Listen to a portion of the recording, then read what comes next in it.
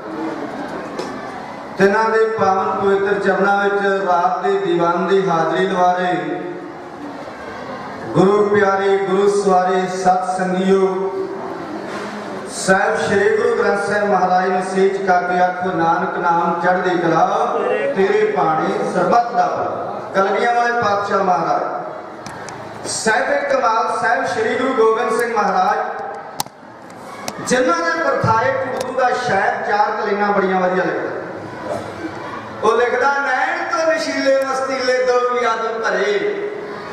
ਤਨਕ ਰਹਾ ਸਭ ਸੁਰਤ ਪਲਾਤ ਹੈ। ਪਲਕਨ ਕੇ ਤੀਰ ਕਰੇ ਦੈਂਤਨ ਫਕੀਰ ਸ਼ਾਹ। ਰੰਗਨ ਪੈ ਦਇਆ ਕਰ ਤਖਤ ਬਿਠਾ ਹਾਰਾ। ਦੂਸਰੇ ਤੇ ਤੇਜ ਸ਼ੋਭੇ। ਭਗਤੀ ਅਰ ਵੀਰਤਾ ਵੀ ਗਰਦਨ ਚੁਕਾਤ ਹੈ। ਫਤਿਹ ਝੜੇ ਆਂਗਲ ਲక్ష్ਮੀ ਦਬਾਏ ਪਾਗਲ ਗੋਬਿੰਦ ਮਰਗਿੰਦ ਗੁਰ ਜੀਤੇ ਨੇ ਜਾ ਉਸ ਗੁਰਦੇਵ ਜੀ ਦੀ ਬਖਸ਼ਿਸ਼ ਕੀਤੀ ਹੋਈ ਫਤਿਹ ਬੁਲਾ ਕੇ ਦਾਸਾਂ ਦੇ ਜਥੇ ਨੂੰ ਗੁਰੂ ਕਾ ਇਤਿਹਾਸ ਕਹਿਣ ਵਾਸਤੇ ਆਸ਼ੀਰਵਾਦ ਦੇ। दे ਚਕਾਓ ਸ੍ਰੀ ਗੁਰੂ ਗ੍ਰੰਥ ਸਾਹਿਬ ਮਹਾਰਾਜ ਨੂੰ ਤੇ ਆਖੋ ਜੀ, ਵਾਹਿਗੁਰੂ ਜੀ ਕਾ ਖਾਲਸਾ, ਵਾਹਿਗੁਰੂ ਜੀ ਕੀ ਫਤਿਹ। ਸਤਿਗੁਰੂ ਮਹਾਰਾਜ ਦੇ ਪਾਵਨ ਪਵਿੱਤਰ ਚਰਨਾਂ ਵਿੱਚ ਬੈਠ ਕੇ ਦੂਸਰੇ ਦਿਨ ਦੇ ਗੁਰਮਤ ਸਮਾਗਮ ਦੀ ਹਾਜ਼ਰੀ ਭਰਨ ਦਾ ਸਮਾਜ ਭਾਗ ਪ੍ਰਾਪਤ ਹੋਇਆ। ਵੱਡੇ ਭਾਗ ਨੇ ਨਗਰ ਦੇ ਵੀ ਵੱਡੇ ਭਾਗ ਆਏ ਡੇ ਡੇ ਸਮਾਗਮ ਨਗਰ ਵਿੱਚ ਹੋਣ। ਮਹਾਂਪੁਰਖ ਬਾਬਾ ਚੱਠਾ ਜੀ, ਜਿਨ੍ਹਾਂ ਨੇ ਬੰਦਗੀ ਕੀਤੀ, ਤਪ ਕੀਤਾ, ਉਹਨਾਂ ਦੇ ਨਾਲ ਦੁਨੀਆ ਤੇ ਰਹੇ। ਸਤਿਗੁਰੂ ਦੀ ਬਾਣੀ ਕਹਿੰਦੀ, ਨਾਮ ਰਹਿਓ, ਸਾਧੂ ਰਹਿਓ ਰਹਿਓ ਗੁਰ ਗੋਬਿੰਦ। ਕਹੋ ਨਾਨਕ, ਇਹ ਜਗਤ ਮੈਂ, ਕਿਨ ਜਪਿਓ ਗੁਰ ਮਨ। ਬੜੇ ਪਿਆਰ, ਸਤਿਕਾਰ ਤੇ ਸ਼ਰਧਾ ਦੇ ਨਾਲ ਸਤਿਗੁਰੂ ਸਾਹਿਬ, ਸ੍ਰੀ ਗੁਰੂ ਗ੍ਰੰਥ ਸਾਹਿਬ ਮਹਾਰਾਜ ਜੀ ਦੇ ਪਾਵਨ ਪਵਿੱਤਰ ਚਰਨਾਂ ਵਿੱਚ ਸੋਧਾ ਰਹਿਰਾਜ ਸਾਹਿਬ ਜੀ ਤੋਂ ਬਾਅਦ ਭਾਈ ਸਾਹਿਬ ਭਾਈ ਰਣਜੀਤ ਸਿੰਘ ਜੀ ਹਜ਼ੂਰੀ ਰਾਗੀ ਜਥਾ ਇਸ ਸਥਾਨ ਦੇ ਆਪ ਜੀ ਨੂੰ ਕੀਰਤਨ ਸਰਵਣ ਕਰਵਾ ਰਹੇ ਸਨ। ਕਲਯੁਗ ਮੈਂ ਕੀਰਤਨ ਪ੍ਰਧਾਨਾ, ਗੁਰਮੁਖ ਜਪੀਏ ਲਾਏ ਧਿਆਨਾ, ਕੀਰਤਨ ਨਿਰਮੋਲਕ ਹੀਆ। ਆਪ ਸਰਵਣ ਕਰ ਰਹੇ ਸੀ। ਸਟੇਜ ਦੇ ਸੰਚਾਲਕ ਭਾਈ ਸਾਹਿਬ, ਭਾਈ ਜਸਵੰਤ ਸਿੰਘ ਜੀ, ਉਹਨਾਂ ਵੱਲੋਂ ਸਮਾਂ ਆਉਸ ਹੋਇਆ ਹੈ। ਹੁਕਮ ਵੀ ਲਾਇਆ ਗਿਆ ਹੈ ਕਿ ਉਸ ਮਹਾਨ ਜਰਨੈਲ ਸਰਦਾਰ ਹਰੀ ਸਿੰਘ ਨਲਵੇ ਦਾ ਕੁਰਬਾਨੀ ਭਰਿਆ ਇਤਿਹਾਸ, ਉਹਨਾਂ ਦੇ ਸਿੱਖ ਰਾਜ ਵਾਸਤੇ ਕੀਤੇ ਹੋਏ ਕਾਰਨਾਮੇ ਕੀਤੀਆਂ ਹਕਾਲੀਆਂ ਹੋਈਆਂ ਘਾਲਣਾ, ਮਾਰੀਆਂ ਹੋਈਆਂ ਤੇਗਾਂ, ਉਹ ਸੰਗਤਾਂ ਦੇ ਨਾਲ ਸਾਂਝੀਆਂ ਕੀਤੀਆਂ ਜਾਣ। ਕਲਗੀਆਂ ਵਾਲੇ ਪਾਤਸ਼ਾਹ ਮਹਾਰਾਜ ਨੇ ਜਿਹੜਾ ਖਾਲਸਾ ਪੈਦਾ ਕੀਤਾ 1699 ਦੀ ਵਿਸਾਖੀ ਨੂੰ, ਉਸ ਖਾਲਸੇ ਨੇ ਇੰਨੀਆਂ ਕੁਰਬਾਨੀਆਂ ਸ਼ਹੀਦੀਆਂ ਦਿੱਤੀਆਂ। ਸਿੱਟਾ ਇਹ ਨਿਕਲਿਆ ਕਿ 1799 ਨੂੰ। ਸ਼ੇਰੇ ਪੰਜਾਬ ਮਹਾਰਾਜਾ ਰਣਜੀਤ ਸਿੰਘ ਨੇ ਮਿਸਲਾਂ ਨੂੰ ਇਕੱਠਿਆਂ ਕਰਕੇ ਇੱਕ ਰਾਜ ਸਥਾਪਿਤ ਕਰ ਲਿਆ, ਜਿਹਨੂੰ ਖਾਲਸਾ ਰਾਜ ਆਪਾਂ ਆਖਦੇ ਜਿਹਨੂੰ ਸਿੱਖ ਰਾਜ ਆਪਾਂ ਆਖਦੇ ਹਾਂ। ਮਹਾਬਲੀ ਰਣਜੀਤ ਸਿੰਘ ਹੋਇਆ ਪੈਦਾ ਨਾਲ ਜੋਰ ਦੇ ਮੁਲਕ ਹਲਾਏ ਗਿਆ। ਮਲਤਾਨ, ਕਸ਼ਮੀਰ, ਪਿਸ਼ਾਵਰ, ਚੰਬਾ। ਜੰਮੂ, ਕਾਂਗੜਾ, ਕੋਟ, ਨਵਾਏ ਗਿਆ। ਹੋਰ ਦੇਸ਼ ਲਦਾਖ ਤੇ ਜੀਂਦ ਤੋੜੀ। ਸਿੱਕਾ ਆਪਣੇ ਨਾਮ ਚਲਾਏ ਗਿਆ। ਸ਼ਾਹ ਮਹਮਦਾ ਜਾਨ 50 ਵਰਸ਼ਾਂ ਅੱਛਾ ਰਾਜ ਕੇ ਰਾਜ ਕਮਾਏ ਗਿਆ। ਮਹਾਰਾਜਾ ਰਣਜੀਤ ਸਿੰਘ, ਸ਼ੇਰੇ ਪੰਜਾਬ, ਜਿਹਦੇ ਰਾਜ ਦੀਆਂ ਹੱਦਾਂ ਤੇ ਖਾਲਸੇ ਨਿਸ਼ਾਨ ਝੂਲਦੇ ਸਨ। ਜੇ ਕੋਈ ਅੱਜ ਸਾਨੂੰ ਪੁੱਛੇ ਕਿ ਖਾਲਸੇ ਨੇ ਵੀ ਰਾਜ ਕੀਤਾ, ਜਵਾਬ ਹੈ, ਖਾਲਸੇ ਦਾ ਰਾਜ ਵਰਗਾ ਦੁਨੀਆ ਤੇ ਕੋਈ ਰਾਜ ਹੀ ਪੈਦਾ ਨਹੀਂ ਹੋਇਆ। ਬਾਪੂ ਸੋਹਣ ਸਿੰਘ ਦੀ ਸੀਤਲ ਲਿਖਦੇ ਨੇ, ਕੋਈ ਦੂਰ ਦੀ ਗੱਲ ਨਹੀਂ, ਦੇਸ਼ ਅੰਦਰ ਕਦੇ ਅਸੀਂ ਵੀ ਹੁੰਦੇ ਸਾਂ ਸ਼ਾਨ ਵਾਲੇ ਅਸੀਂ ਪੰਜਾਂ ਦਰਿਆਵਾਂ ਦੇ ਬਾਦਸ਼ਾਹ ਸਾਂ। ਤਖਤ ਤਾਜ ਵਾਲੇ, ਅਣਖ ਆਨ ਵਾਲੇ, ਸਾਡੇ ਸਿਰਾਂ ਤੇ ਕਲਗੀਆਂ ਸੋਹਣੀਆਂ ਸਨ। ਸਾਨੂੰ ਨਿਆਉਂਦੇ ਸੀ ਕਈ ਗਵਾਨ ਵਾਲੇ, ਸਾਡੇ ਖਾਲਸੀ ਕੌਮੀ ਨਿਸ਼ਾਨ ਅੱਗੇ। ਪਾਣੀ ਭਰਦੇ ਸੀ ਕਾਬਲ ਈਰਾਨ ਵਾਲੇ, ਸਾਡੀ ਤੇਲ ਦੀ ਚੰਦ ਦੀ ਧਾਰੇ ਅੱਗੇ। ਭੇਗਾ ਧਰਦੇ ਸੀ ਕਾਬਲ ਈਰਾਨ ਵਾਲੇ ਕੌਣ ਜਾਣਦਾ ਸੀ? ਰੋਲਦੇ ਫਿਰਨਗੇ ਕਿ ਆਪਣੇ ਤਾਜ ਵਿੱਚ ਹੀਰੇ ਹੰਡਾਨ ਵਾਲੇ ਸੀਤਲ ਹਾਰ ਫਕੀਰਾਂ ਦੇ ਨਗਰੇ ਆਉਂਦੇ ਤਾਜ ਤਖਤ ਨਿਸ਼ਾਨ ਕਿਰਪਾਨ ਵਾਲੇ। ਸਵਾਲ ਪੈਦਾ ਹੁੰਦਾ ਖਾਲਸੇ ਨੂੰ ਜਦੋਂ ਲੋੜ ਪੈਂਦੀ ਆ ਮੁਸੀਬਤਾਂ ਵਿੱਚ ਸ਼ਹੀਦੀਆਂ ਦੀ ਤੇ ਕੋਈ ਕਮੀ ਨਹੀਂ ਰਹਿ ਜਾਂਦੀ ਲੈਣਾ ਲੱਗ ਜਾਂਦੀ। ਸ਼ਹੀਦੀਆਂ ਵੱਲੋਂ, ਕੁਰਬਾਨੀ ਵੱਲੋਂ ਕੋਈ ਕਮੀ ਨਹੀਂ। ਤੇ ਰਾਜ ਜਾਂਦੇ ਵੀ ਆ, ਆਉਂਦੇ ਵੀ ਆ, ਪਰ ਐਸੇ ਵੇਲੇ ਰਾਜ ਚਲਾ ਗਿਆ ਸਿੱਖਾਂ ਦਾ ਜਿਹੜਾ ਮੁੜ ਕੇ ਆ ਨਹੀਂ ਸਕਿਆ। ਇੱਕ ਵਿਦਵਾਨ ਚਾਰ ਕਲੇਨਾ ਲਿਖਦਾ ਕਹਿੰਦਾ, ਕਦੇ ਮੰਗਿਆ ਕਿਸੇ ਨੇ ਰਾਜ ਦਿੱਤੇ ਰਾਜ ਤਾਬਿਆ ਸਰਾ ਤਲਵਾਰ ਦੀ ਨੇ। ਰਾਜ ਏਕੇ ਥਬਾਗ ਦੇ ਮਗਰ ਆਉਂਦੇ। ਇਹ ਪੰਕਤੀ ਸਾਡੇ ਤੇ ਢੁਕਦੀ ਲੱਗਦੀ ਸ਼ਹੀਦੀਆਂ ਵੱਲੋਂ ਕੋਈ ਥੋੜ ਨਹੀਂ। ਤਲਵਾਰਾਂ ਮਾਰਨ ਵੱਲੋਂ ਕੋਈ ਘਾਟ ਨਹੀਂ। ਸ਼ਾਦੀਆਂ ਡਾ ਡਾ ਕੇ ਲੜਨ ਵਰਗੇ, ਲੜਨ ਵਾਲੇ ਸੂਮੇ ਉਹਨਾਂ ਦੀ ਕੋਈ ਕਮੀ ਨਹੀਂ। ਜੇ ਕਮੀ ਲੱਗਦੀ ਆ ਤੇ ਇੱਥੇ ਆ ਕੇ ਲੱਗਦੀ।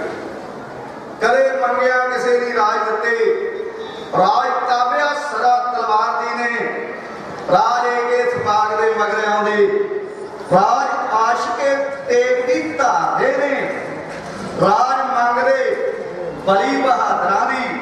ਜਿਹੜੇ ਦੇਸ਼ ਬਦਲੇ ਜਾਨਾਂ ਮਾਰਦੇ ਨੇ, ਰਾਜ ਆਉਂਦੇ ਵੀ ਲਹੂ ਦੇ ਵਿੱਚ ਨਹਾਉਂਦੇ ਤੇ ਜਾਣ ਲੱਗੇ ਵੀ ਲਹੂ ਖਲਾਰ ਦੇ ਉਹ ਸ਼ੇਰੇ ਪੰਜਾਬ ਮਹਾਰਾਜਾ ਰਣਜੀਤ ਸਿੰਘ ਦਾ ਰਾਜ ਜਿਸ ਰਾਜ ਵਿੱਚ ਸਾਰਿਆਂ ਨੂੰ ਇੱਕੋ ਦੇ ਬਰਾਬਰ ਹੱਕ ਮਿਲੇ ਔਰ ਉਸ ਰਾਜ ਦਾ ਜਰਨੈਲ ਹੈ, ਥੰਮ ਹੈ ਸਰਦਾਰ ਹਰੀ ਸਿੰਘ ਨਲਵਾ, ਜਿਹਦਾ ਜਨਮ 1791 ਨੂੰ ਗੁਜਰਾਂਵਾਲੇ ਦੀ ਧਰਤੀ ਤੇ ਸਰਦਾਰ ਗੁਰਦਿਆਲ ਸਿੰਘ ਦੇ ਘਰ ਮਾਤਾ ਧਰਮ ਕੌਰ ਦੀ ਕੁੱਖੋਂ ਹੋਇਆ ਔਰ 7 ਸਾਲ ਦਾ ਇਹ ਬਾਲਕ ਹੋਇਆ ਜਿਹਦਾ ਨਾਮ ਮਾਪਿਆਂ ਹਰੀ ਸੀ ਤੇ ਸਰਦਾਰ ਗੁਰਦਿਆਲ ਸਿੰਘ ਚੜ੍ਹਾਈ ਕਰ ਗਿਆ ਇਹਦੇ ਮਾਤਾ ਧਰਮ ਕੌਰ ਜੀ ਆਪਣੇ ਪੁੱਤਰ ਹਰੀ ਸਿੰਘ ਨੂੰ ਨਾਲ ਲੈ ਕੇ ਆਪਣੇ ਪੇਕੇ ਪਿੰਡ ਆ ਗਏ ਤੇ 7-8 ਸਾਲ ਆਪਣੇ ਮਾਮਿਆਂ ਦੀ ਨਿਗਰਾਨੀ ਵਿੱਚ ਸਰਦਾਰ ਹਰੀ ਸਿੰਘ ਨੇ ਬਤੀਤ ਕੀਤੇ ਆ। ਗੁਰਮੁਖੀ ਪੜ੍ਹੀ, ਸ਼ਬਦ ਚਲਾਉਣੇ ਸਿੱਖੇ ਤੇ ਬਸੰਤੀ ਦਰਬਾਰ ਦਾ ਸਮਾਂ ਆ ਗਿਆ। ਬਸੰਤੀ ਦਰਬਾਰ ਸ਼ੇਰੇ ਪੰਜਾਬ ਮਹਾਰਾਜਾ ਰਣਜੀਤ ਸਿੰਘ ਕਰਿਆ ਕਰਦਾ ਸੀ ਬਸੰਤ ਰੁੱਤੇ ਕਿ ਯੋਧਿਆਂ ਦਾ ਕਿਵੇਂ ਪਤਾ ਲੱਗ ਸਕੇ? ਸੂਰਮਿਆਂ ਦਾ ਕਿਵੇਂ ਪਤਾ ਲੱਗ ਸਕੇ? ਚੰਗੇ ਚੰਗੇ ਚੋਣਵੇਂ ਜਰਨੈਲਾਂ ਦਾ ਪਤਾ ਕਿਵੇਂ ਲਾਇਆ ਜਾ ਸਕੇ? ਉਹ ਦਰਬਾਰ ਕਰਾਉਣ ਦਾ ਮਕਸਦ ਇਹ ਸੀ। ਉਸ ਦਰਬਾਰ ਵਿੱਚ ਦੁਨੀਆ ਭਰ ਦੇ ਸੂਰਮੇ ਆਣ ਕੇ ਆਪਣੀ ਕਲਾ ਦਾ ਪ੍ਰਦਰਸ਼ਨ ਕਰਦੇ ਤੇ ਜਿਹੜੇ ਸ਼ੇਰੇ ਪੰਜਾਬ ਦੀ ਨਜ਼ਰ ਵਿੱਚ ਪ੍ਰਵਾਨ ਚੜ ਜਾਂਦੇ, ਉਹਨਾਂ ਨੂੰ ਆਪਣੇ ਰਾਜ ਦੀਆਂ ਹੱਦਾਂ ਦੀ ਰਾਖੀ ਕਰਨ ਵਾਸਤੇ ਫੌਜੀ ਥਾਪ ਦਿੰਦਾ। ਇਸ ਬਸੰਤੀ ਦਰਬਾਰ ਵਿੱਚ 1805 ਨੂੰ ਇੱਕ ਉਹ 15 14 ਸਾਲ ਦਾ ਜਵਾਨ ਆਇਆ, ਜਿਹਦੇ ਗੋਲ ਡੌਲੇ, ਜਿਹਦਾ ਸਰੀਰ ਜਿਵੇਂ ਫਲਾਸ ਸੱਚੇ ਵੇ ਦੀ ਘਰ ਕੇ ਕੱਢਿਆ ਹੋਵੇ ਚੌੜੀ ਛਾਤੇ। ਇਹ ਤਲਵਾਰ ਦੇ ਐਸੇ ਜੌਰ ਵਿਖਾਉਂਦਾ ਹੈ ਇਹ ਕਲਾ ਦਾ ਐਸਾ ਪ੍ਰਦਰਸ਼ਨ ਕਰਦਾ ਹੈ ਸ਼ੇਰੇ ਪੰਜਾਬ ਨੇ ਪੁੱਛਿਆ, ਇਹ ਕੌਣ ਹੈ ਬੱਚਾ? ਇਹ ਜਵਾਨ ਕੌਣ ਹੈ? ਤੇ ਦੱਸਿਆ ਹੈ ਹਰਦਾਸ ਸਿੰਘ ਦਾ ਪੋਤਰਾ ਸਰਦਾਰ ਗੁਰਦਿਆਲ ਸਿੰਘ ਦਾ ਪੁੱਤਰ। ਗੁਜਰਾਂ ਵਾਲੇ ਦੀ ਧਰਤੀ ਨੂੰ ਭਾਗ ਲਾਉਣ ਵਾਲਾ ਸਰਦਾਰ ਹਰੀ ਸਿੰਘ ਉੱਠ ਕੇ ਛਾਤੀ ਦੇ ਨਾਲ ਲਾ ਲਿਆ। ਤੇ ਆਪਣੇ ਖਿਦਮਤਕਾਰਾਂ ਵਿੱਚ ਭਰਤੀ ਕਰ ਲਿਆ ਹੁਣ ਸਰਦਾਰ ਹਰੀ ਸਿੰਘ ਨੇ ਜਿੱਤਾਂ ਜਿੱਤਣੀਆਂ ਸ਼ੁਰੂ ਕੀਤੀਆਂ। ਪਹਿਲੀ ਲੜਾਈ ਕਸੂਰ ਦੀ ਲੜੀ। ਸ਼ੇਰੇ ਪੰਜਾਬ ਮਹਾਰਾਜਾ ਰਣਜੀਤ ਸਿੰਘ ਮਗਰ ਲੜਾਈ ਵੇਖ ਰਿਹਾ ਸੀ। ਜਵਾਨ ਨੂੰ ਤਲਵਾਰਾਂ ਮਾਰਦੇ ਤੱਕਿਆ ਜਿੱਤਾਂ ਪ੍ਰਾਪਤ ਕਰਦੇ ਤੱਕਿਆ ਉਹ ਮਲਤਾਨ ਦਾ ਕਿਲਾ ਜਿਹੜਾ ਕਰੇ ਫਤਿਹ ਨਹੀਂ ਸੀ ਹੋਇਆ, ਉਹ ਵੀ ਫਤਿਹ ਕਰ ਦਿੱਤਾ ਜਿੱਧਰ ਨੂੰ ਮੂੰਹ ਕੀਤਾ। ਸਰਦਾਰ ਹਰੀ ਸਿੰਘ ਜ਼ਾਲਮਾਂ ਨੂੰ ਆਪਣੀ ਤਲਵਾਰ ਦੀ ਧਾਰ ਲਗਾਉਂਦਾ ਚਲਾ ਗਿਆ ਕੋਈ ਮਾਂ ਦਾ ਲਾਲ ਤਲਵਾਰ ਦੀ ਝਾਲ ਨਾ ਚੱਲ ਸਕਿਆ ਆਖਰ ਸਮਾਂ ਆਇਆ 1837 ਹੈ ਸ਼ੇਰੇ ਪੰਜਾਬ ਮਹਾਰਾਜਾ ਰਣਜੀਤ ਸਿੰਘ ਦੇ ਪੋਤਰੇ ਕਵਰ ਨੌ ਨਿਹਾਲ ਦੀ ਸ਼ਾਦੀ ਹੈ। ਤੇ ਬਹੁਤ ਸਾਰੀਆਂ ਫੌਜਾਂ ਜਿਹੜੀਆਂ, ਉਹ ਲਾਹੌਰ ਪਹੁੰਚੀਆਂ ਹੋਈਆਂ ਤੇ ਅੰਮ੍ਰਿਤਸਰ ਪਹੁੰਚੀਆਂ ਹੋਈਆਂ। ਗਵਰਨਰ ਹੈ ਪਸ਼ੌਰ ਦਾ ਸਰਦਾਰ ਹਰੀ ਸਿੰਘ ਨਲਵਾ। ਨਲਵਾ ਨਾਂ ਤਾਂ ਪਿਆ ਸੀ ਸ਼ੇਰ ਦਾ ਸ਼ਿਕਾਰ ਬਿਨਾਂ ਤਲਵਾਰ ਤੋਂ ਸਰਦਾਰ ਹਰੀ ਸਿੰਘ ਨੇ ਕੀਤਾ ਸੀ। ਔਰ ਇਹ ਪਸ਼ੌਰ ਦੇ ਕਿਲੇ ਵਿੱਚ ਸਰਦਾਰ ਹਰੀ ਸਿੰਘ ਨਲਵਾ ਬਿਮਾਰ ਦਾ ਕਈ ਮਹੀਨਿਆਂ ਤੋਂ। 10000 ਕੋਲ ਫੌਜ ਹੈ ਜਮਰਾਉ ਦਾ ਕਿਲਾ ਜਿਹਦੀ ਨਹੀਂ 1836 ਵਿੱਚ ਸਰਦਾਰ ਹਰੀ ਸਿੰਘ ਨਲਵੇ ਨੇ ਆਪਣੇ ਹੱਥੇ ਰੱਖੀ ਔਰ ਇਹਦੀਆਂ ਚਾਰ ਗੱਜ ਚੌੜੀਆਂ ਕੰਧਾਂ 12 ਗੱਜ ਉਚਾਈ ਤੇ ਇਹ ਕਿਲਾ ਬਾਬਾ ਫਤਿਹ ਸਿੰਘ ਦੇ ਨਾਂ ਤੇ ਇਹਦਾ ਨਾਂ ਰੱਖਿਆ ਗਿਆ। ਫਤਿਹਗੜ੍ਹ ਦਾ ਕਿਲਾ ਮੈਨੂੰ ਆਖਿਆ ਜਾਂਦਾ ਹੈ। ਇਸ ਕਿਲੇ ਦਾ ਜਰਨੈਲ ਹੈ ਸਰਦਾਰ ਮਹਾ ਸਿੰਘ। ਹਜ਼ਾਰ ਜਵਾਨ ਉਹਦੇ ਕੋਲ ਹੈ। ਇੱਥੋਂ ਖਬਰਾਂ ਪਹੁੰਚ ਰਹੀਆਂ। ਧਿਆਨ ਸਿੰਘ ਡੋਗਰੇ ਵੱਲੋਂ ਮੁਹੰਮਦ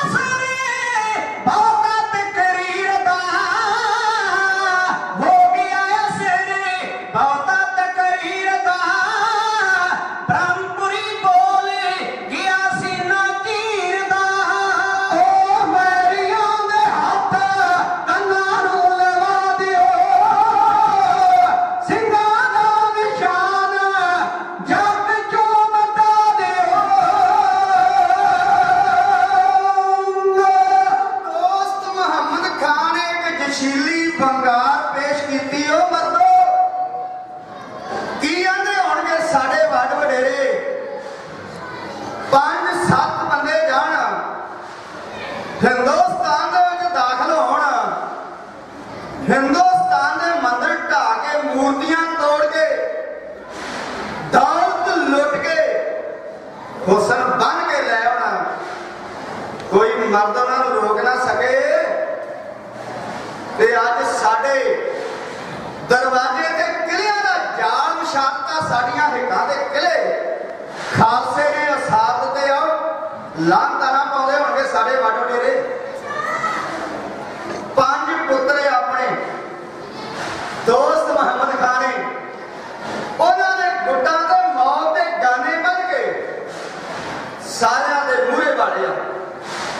ਮੁਹੰਮਦ ਖਾਨ, ਅਕਰਮ ਖਾਨ, ਹੈਦਰ ਖਾਨ, ਗੁਲਾਮ ਖਾਨ ਤੇ ਅਕਰਮ ਖਾਨ।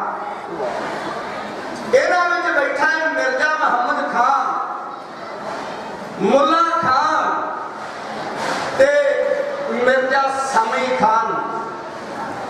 ਜਦੋਂ ਇਹ ਤਕਰੀਰ ਪੇਸ਼ ਕੀਤੀ ਤੇ ਜਿਨ੍ਹਾਂ ਅੱਗੇ ਕਦੇ ਸਿੱਖਾਂ ਦੇ ਨਾਲ ਲੜਾਈ ਨਹੀਂ ਸੀ ਨਾ ਲਈ, ਨਵਾਂ ਖੂਨ ਉਹ ਜੋਸ਼ ਵਿੱਚ ਪੁੱਤਰ ਗਿਆ ਤੇ ਉਹ ਕਹਿੰਦੇ ਕਿ ਅਮੀਰ ਕਾਬਲ ਬਾਪ ਕਾਬਲ ਦਾ ਬਾਦਸ਼ਾਹ ਅਮੀਰ ਕਾਬਲ ਬਾਦਸ਼ਾਹ ਹੁਕਮ ਦਿਓ ਜਿਹੜੇ ਕਿਲਿਆਂ ਦੀ ਗੱਲ ਕਰਦੇ ਹੋ ਮਿੱਟੀ ਦੇ ਨਾਲ ਮਿਲਾ ਦਿਆਂਗੇ ਢਾਹ ਕੇ ਢੇਰੀ ਕਰ ਦਿਆਂਗੇ ਜੋਸ਼ ਵਿੱਚ ਆ ਕੇ ਆਪਾਂ ਬੋਲਦੇ ਪਠਾਨ ਗਾਜ਼ੀ ਸ਼ੇਰਾਂ ਵਾਂਗ ਕਰੀਏ ਤੇ ਧਰਤ ਕੰਬਾ ਦਈਏ ਸਿੱਖ ਸਾਡੇ ਸਾਹਮਣੇ, ਵਡੇਰੇ ਜਿਵੇਂ ਬਾਜ ਅੱਗੇ ਕੱਜੇ ਚੱਲ ਜਾਈਏ ਖੜਾ ਖੋਜ ਹੀ ਮਟਾ ਦਈਏ ਕਿਲੇ ਜਿਹੜੇ ਕਹਿੰਦੇ ਉਹ ਪਿਸ਼ੌਰ ਜਮਰੌਤ ਕੀ ਨੇ? ਆਪਣੀ ਆਈ ਤੇ ਆਈਏ, ਪਰਬਤ ਹਲਾ ਦਈਏ ਹਜ਼ਰਤ ਅਲੀ ਦੇ ਨਾਮ ਲੈਵਾ ਧਨੀ ਦੇਖਦੇ ਹਾਂ ਮੌਤ ਆਵੇ ਸਾਹਮਣੇ ਤੇ ਮੌਤ ਨੂੰ ਮਟਾ ਦਈਏ ਕਹਿੰਦੇ ਹੁਕਮ ਦੇ ਦਿਓ ਜਦੋਂ ਮਿਰਜ਼ਾ ਸਮੀ ਖਾਨ ਨੇ ਅੱਗੇ ਮੂਹਰੇ ਹੋ ਕੇ ਪਾਨਾਂ ਦਾ ਬੀੜਾ ਮੂੰਹ ਵਿੱਚ ਪਾ ਕੇ ਚਬਿਆ ਕਾੜ ਕਾੜ ਕਰਦਾ ਤਲਵਾਰ ਮਿਆਨ ਤੋਂ ਬੇਮਿਆਨ ਕਰਕੇ ਹਵਾ ਵਿੱਚ ਲਹਿਰਾ ਕੇ ਆਖਿਆ ਅਮੀਰ ਕਾਬਲ ਮੈਂ ਜਮਰਾਉ ਦੇ ਕਿਲੇ ਨੂੰ ਢਾ ਕੇ ਮਿੱਟੀ ਵਿੱਚ ਤੇ ਕਬਜ਼ੇ ਵਿੱਚ ਲੈ ਲਵਾਂ ਜਿਹੜਿਆਂ ਕਿਲਿਆਂ ਦੀ ਗੱਲ ਕਰਦੇ ਹੋ, ਮੈਨੂੰ ਮਨ ਭਾਉਂਦੀ ਫੌਜ ਦਿੱਤੀ ਜਾਵੇ। 15 ਅਪ੍ਰੈਲ 1837 ਨੂੰ 30000 ਮੁਲਖਈਆ ਨਾਲ ਲੈ ਕੇ, ਦੋਸਤ ਮੁਹੰਮਦ ਖਾਨ ਦੇ ਪੰਡੇ ਪੁੱਤਰ ਨਾਲ ਲੈ ਕੇ, ਚੋਣ ਜਰਨੈਲ ਨਾਲ ਲੈ ਕੇ ਮਿਰਜ਼ਾ ਸਮੀ ਖਾਨ ਸਿੱਖਾਂ ਕੋਲ ਜਮਰਾਵਤ ਖੋਣ ਵਾਸਤੇ ਨਗਾਰੇ ਤੇ ਚੋਟ ਲਾ ਕੇ 15 ਅਪ੍ਰੈਲ 1837 ਨੂੰ ਤੁਰਿਆ ਹੈ ਜੜੀਆਂ ਫੌਜਾਂ ਕਾਬਲੋਂ ਲਾ ਚੋੜ ਨਗਾਰੇ ਰਣ ਵਿੱਚ ਗੂੰਜਣੇ ਅਲੀ ਦੇ ਚੌਂ ਪਾਸੀ ਨਾਰੇ ਮਾਵਾ ਹੱਥੀ ਆਪਣੇ ਕਈ ਪੁੱਤ ਸ਼ਿੰਗਾਰੇ ਲਿਸ਼ਕਣ ਟੇਕਾਂ ਦਰਸ਼ੀਆਂ ਮਾਰਨ ਚਮਕਾਰੇ ਜਿਉਂ ਬਿਜਲੀ ਵਿੱਚ ਬੱਦਲਾਂ, ਥਾਂ ਥਾਂ ਲਿਸ਼ਕਾਰੇ, ਵੱਧਦੇ ਆਉਣ ਤੂਫਾਨ ਦਿਓ। ਰਣ ਮੰਡਣ ਹਾਰੇ, ਜਿਉਂ ਛਲ ਉੱਠੇ ਸਾਗਰੋਂ ਆਖੇ ਕਿਨਾਰੇ 30000 ਫੌਜ ਮਾਰੋ ਮਾਰ ਕਰਦੀ। ਇਹ 24 ਅਪ੍ਰੈਲ ਨੂੰ ਲੁੱਡੀ ਖਾਨੇ ਪਹੁੰਚ ਗਈ।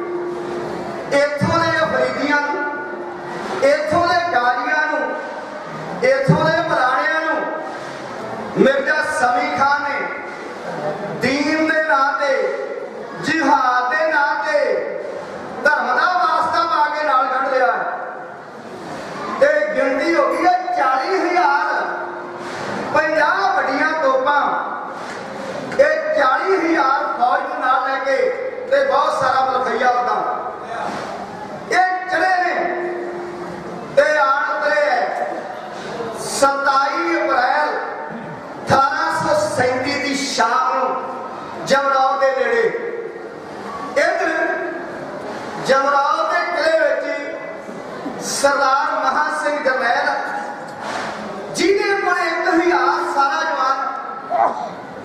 ਜਿਹਦੇ ਕੋਲ 10 ਵੱਡੀਆਂ ਤੋਪਾਂ ਦੇ 12 ਛੋਟੀਆਂ 80 ਗੋਲਦਾਰ ਇਹਨਾਂ ਵਿੱਚ ਚਲਾਉਣ ਵਾਲੇ ਤੇ ਕੁਝ ਤਲਵਾਰਾਂ, ਤੀਰ ਕਮਾਨ ਤੇ ਬੰਦੂਕਾਂ ਆ। ਇਧਰ 50 ਵੱਡੀਆਂ ਤੋਪਾਂ ਇਹਨਾਂ ਨੇ 27 ਅਪ੍ਰੈਲ ਦੀ ਸ਼ਾਮ ਨੂੰ ਜਮਰਾਵ ਨੂੰ ਘੇਰਾ ਪਾ ਲਿਆ।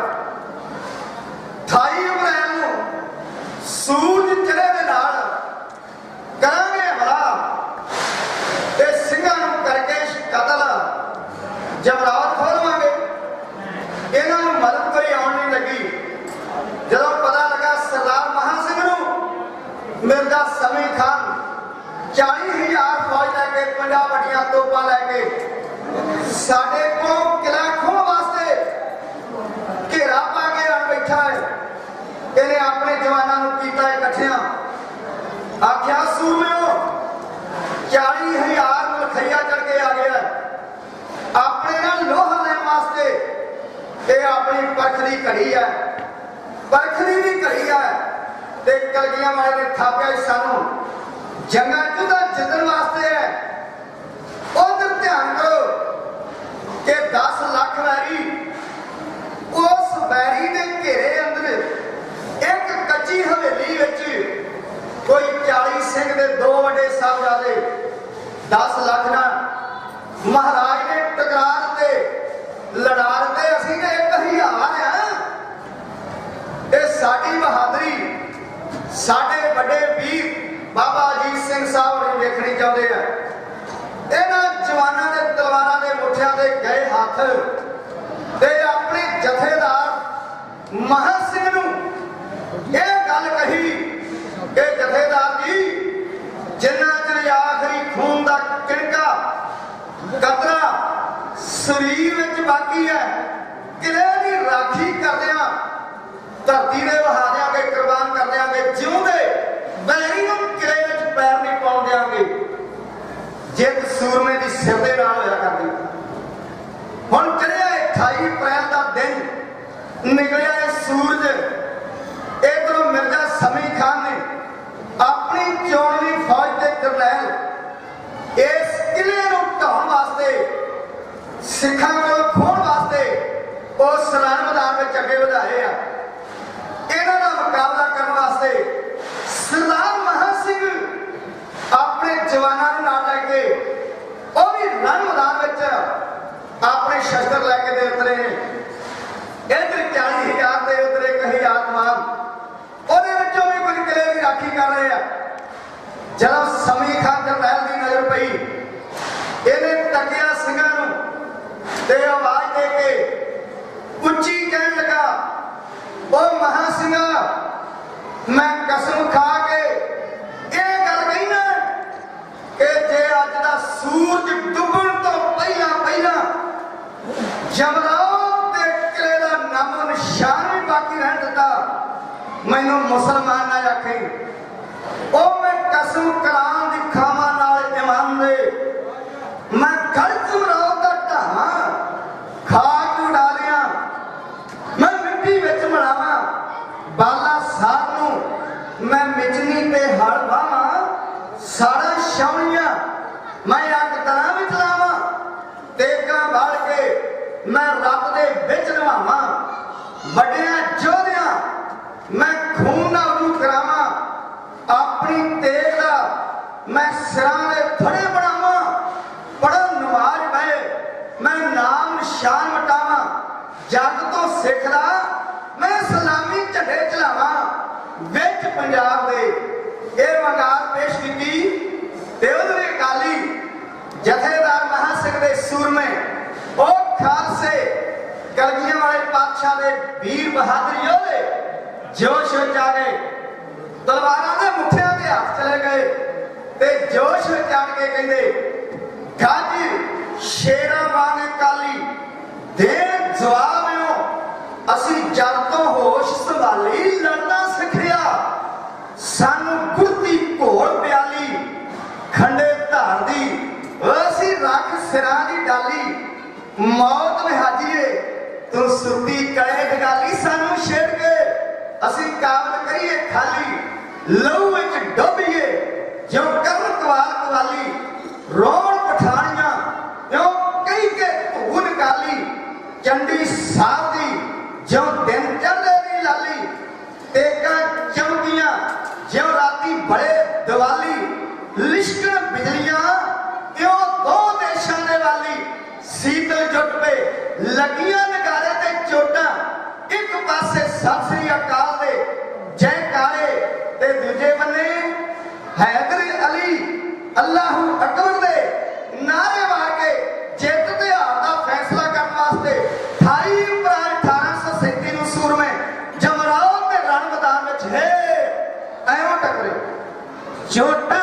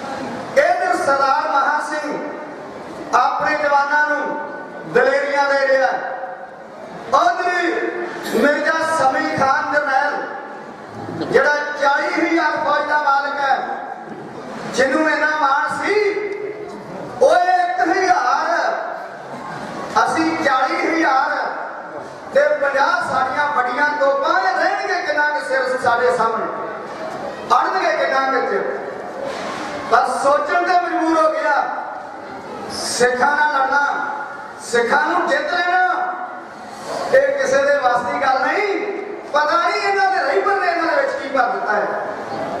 ਆਖਿਰਕਾਰ ਜਿਹੜੇ ਬਹੁਤੇ ਚਾਰ ਜਿਹੜੇ ਸੀ ਜਿੱਤਦੇ ਉਹ ਦਿਲੋਂ ਲੈ ਗਏ। ਰਾਤ ਬੀਤੀ ਆ। 29 ਅਪ੍ਰੈਲ ਦਾ ਚੜਿਆ ਹੈ ਸੂਰਜ। ਹੁਣ ਜਿਹੜੀ ਮਗਰ ਪਾਸ ਸੀ, ਉਹਨੂੰ ਅੱਗੇ ਕੀਤਾ ਸਮੇਂ ਖਾਨ ਨੇ ਅੱਗੇ ਵਾਲੀ ਫੌਜ ਨੂੰ ਮਗਰ ਕੀਤਾ ਹੈ ਉਧਰੋਂ ਸਰਦਾਰ ਮਹਾਂ ਸਿੰਘ ਆਪਣੇ ਯੋਧਿਆਂ ਨੂੰ ਲੈ ਕੇ ਰਣ ਮੈਦਾਨ ਲੜਾਈ ਸ਼ੁਰੂ ਹੋਈ ਹੈ। ਲੜਾਈ ਦਾ ਸਮਾਂ ਹੋਇਆ ਕਰਦਾ ਸੀ। ਜਦੋਂ ਜੰਗ ਬੰਦ ਹੋ ਜਾਇਆ ਕਰਦੀ ਸੀ, ਉਹ ਆਪੋ ਆਪਣੇ ਤੰਬੂਆਂ ਵਿੱਚ ਚਲੇ ਜਾਂਦੇ। ਕਾਨੂੰਨ ਹੁੰਦੇ ਸਨ। ਜੇ ਦੂਸਰੀ ਫੌਜ ਦਾ ਬੰਦਾ ਉਹਨਾਂ ਦੇ ਕੋਲ ਚਲਾ ਗਿਆ ਤੇ ਉਹਦੇ ਤੇ ਵਾਰ ਨਹੀਂ ਸੀ ਕਰਦੇ ਚਲੇ 29 ਅਪ੍ਰੈਲ ਦਾ ਸੂਰਜ। ਦੋਵਾਂ ਤਰ੍ਹਾਂ ਦੇ ਸੂਰਮੇ ਫੈਸਲਾ ਕਰਨ ਵਾਸਤੇ ਜਿੱਤ ਤੇ ਹਾਰ ਦਾ ਰਣ ਮੈਦਾਨ ਵਿੱਚ ਉਤਰੇ ਨੇ ਲੱਗੀਆਂ ਨਗਾਰੇ ਤੇ, ਚੋਟਾਂ ਲੜਾਈ ਸ਼ੁਰੂ ਹੋਈ ਹੈ। ਸੂਰਮੇ ਬਾਹਰ ਕਰ ਰਹੇ ਨੇ ਵੱਧ ਵੱਧ ਕੇ। ਮੋਹ ਪਾਲਾਂ ਢਹਿਰੀਆਂ ਤੇ ਪਿਛਲੇ ਗਏ ਆ ਰਹੇ ਨੇ। ਸ਼ਾਮਾਂ ਪੈਂਦੀਆਂ ਤੱਕ ਕਿਲੇ ਦੀ ਸਾਹਮਣੀ ਬਾਈ, ਪੂਰਬ ਵਾਲੀ ਬਾਈ ਵਿੱਚ ਸਮੀ ਖਾਨ ਜਰਨੈਲ ਦੀਆਂ ਤੋਪਾਂ ਨੇ ਥੋੜਾ ਜਿਹਾ ਪਾੜ ਪਾ ਦਿੱਤਾ ਹੈ। ਉਧਰੋਂ ਸੂਰਜ ਛਿਪਿਆ ਹੈ। ਉਧਰੋਂ ਸਾਹਮਣੇ ਬਾਈ ਵਿੱਚ ਪਾੜ ਪੈ ਗਿਆ ਤੇ ਦੋਸਤ ਮੁਹੰਮਦ ਖਾਨ ਦਾ ਵੱਡਾ ਪੁੱਤਰ, ਉਹ ਘੋੜਾ ਵੀ ਆ ਕੇ ਆਪਣੇ ਸਾਥੀਆਂ ਸਵੇਰ ਤੇ ਕਿਲੇ ਵੱਲ ਜਾ ਰਿਹਾ ਵੀ ਮੈਂ ਪਾੜ ਬਾਈ ਦੀ ਲੰਘ ਜਾਵਾਂ। ਇਹ ਨਜ਼ਰੇ ਪੈ ਗਿਆ ਮਿਰਜ਼ਾ ਸਮੀ ਖਾਨ ਦੀ ਜਿਹਦੇ ਹੱਥ ਜੰਗ ਦੀ ਕਮਾਂਡ ਹੈ ਉਹਨੇ ਆਵਾਜ਼ ਦੇ ਕੇ ਆਖਿਆ "ਓ ਕਰਮ ਖਾਨ ਕਿਲੇ ਵਿੱਚ ਦਾਖਲ ਹੋਣਾ ਆਪਣੀ ਮੌਤ ਤੇ ਦਸਤਖਤ ਕਰਨ ਵਾਲੀ ਗੱਲ ਹੈ ਕਿਉਂ ਕਿਲੇ ਵਿੱਚ ਚਲੇ ਤਿਆਰ ਪਰ ਤਿਆਰ ਬਾਕੀ ਸਿੰਘ ਨੇ ਉਹ ਸਿੰਘ ਤੇ ਹੱਥੇ ਭਰਦਾ ਹੋਇਆ ਹੋਵੇ ਉਹਦੇ ਸਰਾਣੇ ਖਲੋ ਕੇ ਕੋਈ ਲੜਾਈ ਦੀ ਗੱਲ ਕਰੇ ਉੱਠ ਕੇ ਲੜ ਲੱਗ ਪੈਂਦਾ ਇੱਥੇ ਦੇ ਤੇ 7-800 ਸਿੰਘ ਤਿਆਰ ਕਰ ਤਿਆਰ ਆ। ਇਸ ਕਰਕੇ ਕਿਲੇ ਵਿੱਚ ਦਾਖਲਾ ਹੋ ਵਾਪਸ ਮਦਦ ਇਹਨਾਂ ਨੂੰ ਬਾਹਰੋਂ ਆ ਨਹੀਂ ਰਹੀ। ਦੋ ਚਾਰ ਦਿਨ ਵਿੱਚ ਅਸੀਂ ਕਿਲੇ ਨੂੰ ਫਤਿਹ ਕਰ ਲਵਾਂਗੇ। ਘੇਰਾ ਮੁਕੰਮਲ ਰੱਖੋ। ਇਹ ਬਾਤ ਸੁਣਿਆ, ਸੂਰਜ ਛਿਪਿਆ ਤੇ ਲੜਾਈ ਬੰਦ ਹੋਈ ਹੈ। ਫੌਜਾਂ ਆਪੋ ਆਪਣੇ ਤੰਬੂਆਂ ਵਿੱਚ ਸਰਦਾਰ ਮਹਾਂ ਸਿੰਘ ਦੇ ਯੋਧੇ ਉਸ ਜਮਰਾਓ ਦੇ ਕਿਲੇ ਵਿੱਚ ਪਹੁੰਚੇ ਨੇ ਸਰਦਾਰ ਮਹਾਂ ਸਿੰਘ ਨੇ ਆਪਣੇ ਜਵਾਨਾਂ ਨੂੰ ਕਰ ਲਿਆ ਇਕੱਠਿਆਂ। ਦੋ ਵੱਡੇ ਕਾਰਜ ਹੈ। ਜਥੇਦਾਰ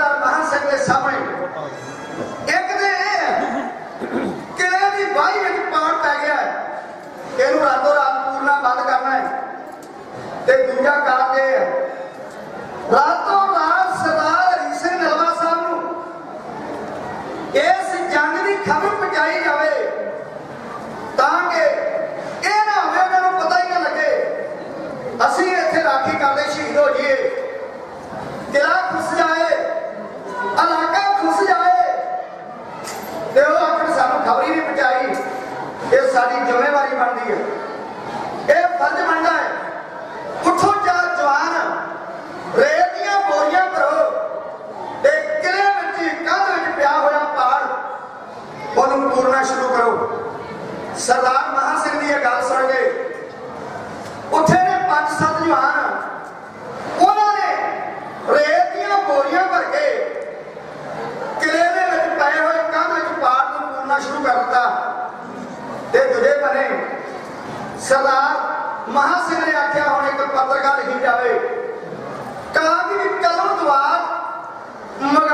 ਸਰਦਾਰ ਮਹਾ ਸਿੰਘ ਨੇ ਸਰਦਾਰ ਹਰੀ ਸਿੰਘ ਨੂੰ ਇੱਕ ਚਿੱਠੀ ਲਿਖੀ ਆ ਤੇ ਉਹਦੇ ਵਿੱਚ ਹਾਲ ਕੀ ਲਿਖਿਆ ਹੈ ਕਿ ਕੱਲ ਤੋਂ ਜਮਰਾਵ ਦੀ ਰਾਖੀ ਕਰਦਿਆਂ ਮੇਰੇ ਜਵਾਨ ਆਪਣੀਆਂ ਜਾਨਾਂ ਵਾਰ ਰਹੇ ਨੇ ਸ਼ਹੀਦੀਆਂ ਪ੍ਰਾਪਤ ਕਰ ਰਹੇ ਨੇ 40000 ਮੁਖਈਆ ਤੇ 50 ਬੜੀਆਂ ਤੋਪਾਂ ਲੈ ਕੇ ਮਿਰਜ਼ਾ ਸੰਮੀ ਖਾਨ ਦੀ ਸੰਤ ਨਾਲ ਤੇ ਇੱਕ ਇਹ ਜੰਗ ਹੋ ਰਹੀ ਹੈ ਤੇ ਅੱਜ ਸ਼ਾਮਾਂ ਤੱਕ ਕਿਲੇ ਦੀ ਸਾਹਮਣੇ ਬਾਈ ਇੱਕ ਪਾਟ ਪੈ ਗਿਆ ਮੈਂ ਸਰਜਵਨ ਸਮਝਦਾ ਆਪਣਾ ਕਿ ਖਬਰ ਮੈਂ ਤੁਹਾਡੇ ਤੱਕ ਪਹੁੰਚਾ ਸਕਾਂ ਸਰਦਾਰ ਜੀ ਅੱਗੇ ਹੁਣ ਤੁਹਾਡੀ ਮਰਜ਼ੀ ਹੈ ਇਹ ਪੱਤਰਕਾਰ ਲੈ ਕੇ ਕਰਕੇ ਬੰਦ ਸਰਦਾਰ ਮਹਾ ਸਿੰਘ ਨੇ ਆਖਿਆ ਕੋਈ ਉਠੋ ਦੋ ਜਵਾਨ ਜਾਓ ਇਹ ਪੱਤਰਕਾਰ ਰਾਤੋਂ ਰਾਤ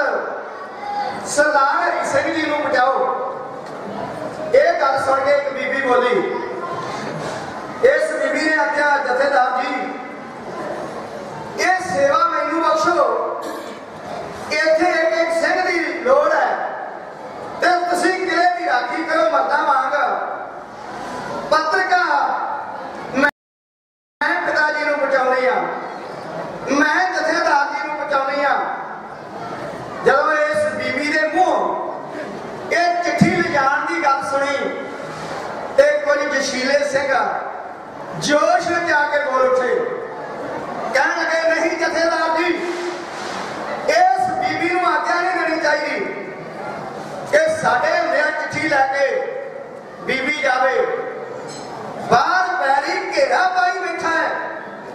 ਧੀਆਂ, ਭੈਣਾਂ, ਇਹ ਕੌਮ ਦੀ ਇੱਜ਼ਤ ਹੁੰਦੀਆਂ ਨੇ। ਵੈਰੀ ਕੁਝ ਵੀ ਕਰ ਸਕਦਾ ਹੈ। ਇਸ ਕਰਕੇ ਸਾਨੂੰ ਹੁਕਮ ਕਰੋ ਸਾਡੇ ਵਿੱਚੋਂ ਜਿਹਨੂੰ ਵੀ ਹੁਕਮ ਕਰੋਗੇ ਅਸੀਂ ਲੈ ਕੇ ਜਾਵਾਂਗੇ।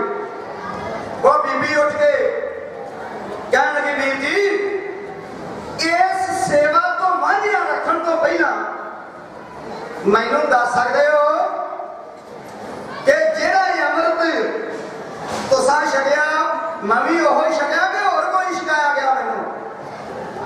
ਉਹਨਾਂ ਸਾਰਿਆਂ ਹੀ ਇੱਕ ਵਾਰ ਆਖਿਆ, ਨਹੀਂ ਬੀਬੀ ਜੀ, ਅੰਮ੍ਰਿਤ ਤੇ ਕਲਗੀਆਂ ਵਾਲੇ ਪਾਤਸ਼ਾਹ ਦੀ ਬਖਸ਼ਿਸ਼ ਖੰਡੇ ਬਾਟੇ ਦਾ, ਜਿਹੜਾ ਸਾਰਿਆਂ ਨੂੰ ਇੱਕੇ ਬਾਟੇ ਵਿੱਚੋਂ ਛਕਾਇਆ ਜਾਂਦਾ। ਉਹ ਬੀਬੀ ਕਹਿਣ ਲੱਗੀ, ਫਿਰ ਮੈਨੂੰ ਇਹ ਦੱਸੋ ਜਿਸ ਅੰਮ੍ਰਿਤ ਨੇ ਤੁਹਾਨੂੰ ਸਵਾ ਲੱਖ ਦੇ ਨਾਲ ਲੜਨ ਦੀ ਸ਼ਕਤੀ ਬਖਸ਼ੀ ਆ, ਮੈਨੂੰ ਨਹੀਂ ਬਖਸ਼ੀ। ਮੈਂ ਹੁਣ ਉਹ ਦੇਗੀ ਜਿਹੜੀ ਡੋਲਿਆਂ ਦੇ ਪਰਦਿਆਂ ਵਿੱਚ ਬੈਠੀ ਰਵਾਂਗੀ ਤੇ ਡੋਲਾ ਬੈਰੀ ਖੋ ਕੇ ਲੈ ਜਾਣਗੇ ਹੁਣ ਮੇਰੇ ਗਾਤਰੇ ਦੁਸ਼ਟਾਂ ਦਾ ਖੈ ਕਰਨ ਵਾਲੀ ਗੁਰੂ ਦੀ ਬਖਸ਼ਿਸ਼ ਤਲਵਾਰ ਹੈ। ਜੇ ਕਿਤੇ ਕੋਈ ਬੁਢਿਆੜ ਬਣ ਕੇ ਝੰਡਿਆ ਮੈਂ ਸ਼ੇਰ ਨਹੀਂ ਬਣ ਕੇ ਤਲਵਾਰ ਦੇ ਨਾਲ ਦਾ ਦਿਲ ਚੀਰ ਦਿਆਂਗੀ ਡਰੋ ਨਹੀਂ, ਘਬਰਾਓ ਨਹੀਂ। ਇਹ ਚਿੱਠੀ ਮੈਂ ਪਹੁੰਚਾਵਾਂਗੀ। ਇਹ ਬੀਬੀ ਚਿੱਠੀ ਲੈ ਕੇ ਸਰਦਾਰ ਸਿੰਘ ਤੱਕ ਕਿਵੇਂ ਪਹੁੰਚਦੀ ਹੈ ਇਥੋਂ ਸਫ਼ਰ ਹੈ 12 ਕਮੀਲ ਦਾ। ਜਮਰਾਵਤ ਤੋਂ ਪਸ਼ਾਵਰ ਦੀ ਦੂਰੀ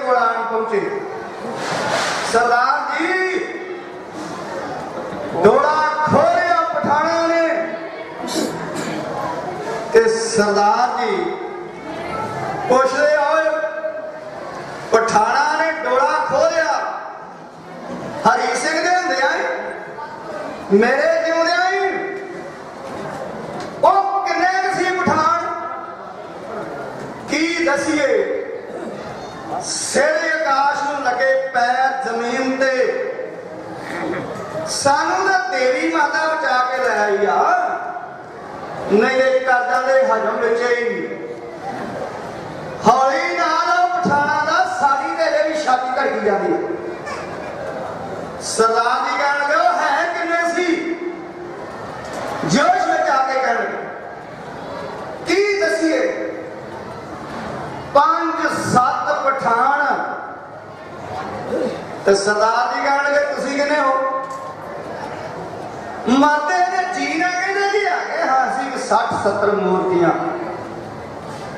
ਸਰਦਾਰ ਹਰੀ ਸਿੰਘ ਕਹਿਣ ਲੱਗੇ, ਬੇੜੀ ਤੇ ਤਾਈਆਂ ਹੀ ਡੁੱਬੀ। ਤੁਸੀਂ ਮੂਰਤੀਆਂ ਬਣ ਕੇ ਰਹਿ ਗਏ। ਤੇ ਕੁੜੀ ਖਵਾਏ ਹੋ। ਜੇ ਤੁਸੀਂ ਕਾਹੇ ਜੋਗੇ ਹੁੰਦੇ ਤੇ ਡੋਲਾ ਖਵਾ ਕੇ ਆ ਜਾਂਦੇ। ਸਰਦਾਰ ਜੀ ਨੇ ਲਏ ਆਪਣੇ ਬਾਡੀਕਾਰ ਨਾਲ। ਮਿਚਲੀ ਦੇ ਪਠਾਣਾ ਤੇ ਬੋਲਿਆ, ਲਾ, ਕੀਤਾ ਕਤਲ। ਇਸ ਬੀਬੀ ਨੂੰ ਲਿਆ ਕੇ ਤੇ ਉਹਨਾਂ ਦੇ ਹਵਾਲੇ ਕਰ ਦਿੱਤਾ। ਜਾਓ, ਲੈ ਜਾਓ। ਉਹ ਬੀਬੀ ਕਹਿਣ ਲੱਗੀ, ਮੈਂ ਨਹੀਂ ਜੇ ਜਾਣਾ। ਸਰਦਾਰ ਜੀ ਕਹਿਣ ਲੱਗੇ, ਕਿਉਂ? ਕਹਿਣ ਲੱਗੀ, ਜਿਹੜੇ 50 60 ਮੇਰੀ ਪੱਤ ਨਹੀਂ ਬਚਾ ਸਕੇ, ਅੱਜ ਤੁਸੀਂ ਛੁਡਾ ਲਿਆਂਦਾ ਕੱਲ ਨੂੰ ਉਥੋਂ ਹੋਰ ਕੋਈ ਮਿਲ ਜੂ ਉਹ ਲੈ ਜੂ ਮੈਨੂੰ ਇਹ ਜਿਹੜੇ ਮੇਰੀ ਇੱਜ਼ਤ ਦੇ ਰਖਵਾਲੇ ਨਹੀਂ ਮੈਂ ਨਹੀਂ ਨਾਲ ਮੈਂ ਤੁਹਾਡੇ ਨਾਲ ਰਵਾਂਗਾ। ਉਸ ਬੀਬੀ ਨੇ ਛਕਿਆ, ਅਮਰਤ ਦੇ ਘਰ ਵਾਲੇ ਨੇ ਛਕਿਆ। ਇਹਦਾ ਨਾਂ ਰੱਖਿਆ ਹਰਸ਼ਰਨ ਕੌਰ। ਇਹ ਉਦੋਂ ਦੀ ਖਾਲਸੇ ਦੇ ਜਥੇ ਵਿੱਚ ਸੇਵਾ ਨਿਭਾ ਰਹੇ ਸੀ ਦੋਵੇਂ ਜੀ। 12 ਮੀਲ ਦਾ ਸਫ਼ਰ ਤੈਅ ਕਰਕੇ ਬੀਬੀ ਹਰਸ਼ਰਨ ਕੌਰ ਜਮਰਾਵ ਦੇ ਕਿਲੇ ਤੋਂ ਚੱਲ ਕੇ ਪਸ਼ਾਵਰ ਜਿੱਥੇ ਸਰਦਾਰ ਦੀ ਬਿਮਾਰ ਪਏ ਆ ਉਸ ਕਿਲੇ ਦੇ ਦਰਵਾਜ਼ੇ ਤੇ ਚਿੱਠੀ ਲੈ ਕੇ ਸੰਤਰੀ ਕੋਲ ਪਹੁੰਚ ਗਿਆ। ਸੰਤਰੀ ਨੇ ਪੁੱਛਿਆ, ਮੈਂ ਆਖਿਆ ਮੈਂ ਜਮਰਾਵ ਤੋਂ ਆਇਆ। ਸਰਦਾਰ ਜੀ ਨੂੰ ਮਿਲਣਾ ਮੈਨੂੰ ਜਲਦੀ ਮਿਲਾ ਦਿਓ ਸੰਤਰੀ ਨੇ ਜਾ ਕੇ ਸਰਦਾਰ ਜੀ ਨੂੰ ਪੁੱਛਿਆ ਕਿ ਬੀਬੀ ਆਈ ਆ। ਉਹ ਕਹਿੰਦੀ, ਤੁਹਾਨੂੰ ਮਿਲਣਾ ਹੈ। ਸਰਦਾਰ ਜੀ ਕਹਿਣ ਲੱਗੇ, ਛੇਤੀ ਆਉਣ ਦਿਓ। ਜਿਹੜੀ ਇਸ ਵੇਲੇ ਆਈ ਆ, ਕੋਈ ਕਾਰਨ ਹੈ ਆਈ ਆ ਫਤਿਹ। ਬੀਬੀ ਅਰਸ਼ਦ ਕੌਰ ਨੇ ਉਹ ਚਿੱਠੀ ਸਰਦਾਰ ਹਰੀ ਸਿੰਘ ਨਲਵੇ ਦੇ ਹੱਥਾਂ ਵਿੱਚ ਦਿੱਤੀ ਆ। ਪੜੀ ਆ ਚਿੱਠੀ। ਫਰਕੇ ਨੇ ਡੋਲੇ ਸੁਰਮੇ ਦੇ। ਅੱਖਾਂ ਵਿੱਚ ਲਾਲੀ ਉਤਰੀ ਆਈ। ਮੱਥੇ ਤੇ ਰੋਹ ਨਾਲ ਵੱਟ ਪੈ ਗਏ। ਤੇ ਆਖਿਆ ਵੀ, ਲਿਆਓ ਮੇਰਾ ਘੋੜਾ। ਮੇਰੀ ਛਾਉਣੀ ਵਿੱਚ ਤਿਆਰੀ ਦਾ ਹੁਕਮ ਦਿਓ ਮੇਰੇ ਸਿਪਾਹੀਆਂ ਨੂੰ। ਤੇ ਬੈਠ ਨਵਜਾਂ ਫੜ ਕੇ ਬੈਠੇ ਇਸ ਵੇਲੇ। ਹਰੀ ਸਿੰਘ ਨੂੰ ਸੇਵਾਦਾਰ ਚੁੱਕ ਅਠਾਲ ਦੇ ਬਾਹਾਂ ਤੋਂ ਫੜ ਕੇ ਇਹਨੇ ਸਖਤ ਬਿਮਾਰ ਹੈ ਤੇ ਵੈਨ ਬੈਠੇ ਆ ਫੜ ਕੇ। ਜਦੋਂ ਤਿਆਰੀ ਦੀ ਗੱਲ ਸੁਣੀ ਤੇ ਵੈਨ ਕੋਲੋਂ ਕਹਿਣ ਲੱਗਾ, ਸਰਦਾਰ ਜੀ, ਇਸ ਹਾਲਤ ਵਿੱਚ ਜਾਣਾ ਤੁਹਾਡਾ ਕੁਝ ਵੀ ਹੋ ਸਕਦਾ ਹੈ ਤੇ ਪੰਥ ਨੂੰ ਤੁਹਾਡੀ ਬੜੀ ਲੋੜ ਹੈ। ਸਰਦਾਰ ਜੀ ਕਹਿਣ ਲੱਗੇ ਵੇਖੋ ਐ ਜੀ। ਪੰਥ ਨੂੰ ਲੋੜ ਹੈ ਤੇ ਪੰਥ ਤੋਂ ਮੈਂ ਆਪਾ ਵਾਰਨ ਵਾਸਤੇ ਚੱਲਿਆ ਮੈਂ ਕਹਿਣ ਲੱਗਾ, ਮੇਰੇ ਕਹਿਣ ਤੋਂ ਪਾਵੇ ਨਹੀਂ। ਸਰਦਾਰ ਜੀ, ਮਾਵਾ ਨੇ ਨਿਤ ਨਿਤ ਹਰੀ ਸਿੰਘ ਨਲਵੇ ਪੈਦਾ ਨਹੀਂ ਕਰਨੇ।